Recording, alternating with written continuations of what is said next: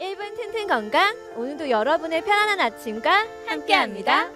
네, 저는 요즘 날씨가 추워서 그런지 몸도 좀 많이 붓고 피로도 쌓이는 것 같은데요. 아 그래서 오늘은 평소에 사용하지 않는 전신의 근육을 자극할 수 있는 동작을 배워볼 거예요. 먼저 알려드릴게요. 먼저 등을 대고 바닥에 누워주시고요.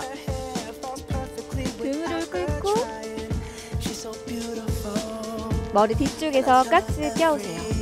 왼다리를 천천히 천천히 쭉 끌어올려서 오른다리 위에 다리 꼬듯이 꼬아주실 거고요. 가능하시면 한 번만 더 꼬아주세요.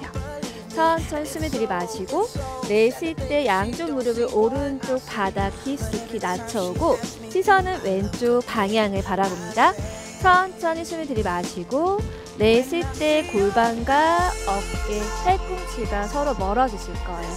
이때 양쪽 허벅지를 더 조여내시고요. 조금 더 가능하시면 더 척추를 비틀어 주실 거예요. 네, 세 호흡에서 다섯 호흡 정도 유지하고 천천히 돼요. 반대편은 같이 해볼게요.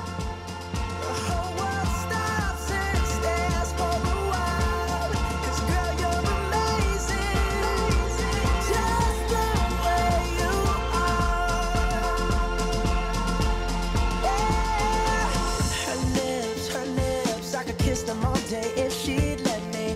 Her laugh, her laugh, she hates, but I think it's so sexy. She's so beautiful, and I tell her every day. Oh, you know, you know, you know, I never ask you to change. If perfect's what you search